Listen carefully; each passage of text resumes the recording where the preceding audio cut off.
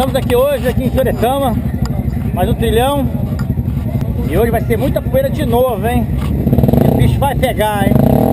Claudinho aqui de São Mateus. Vai, fruto, fruto.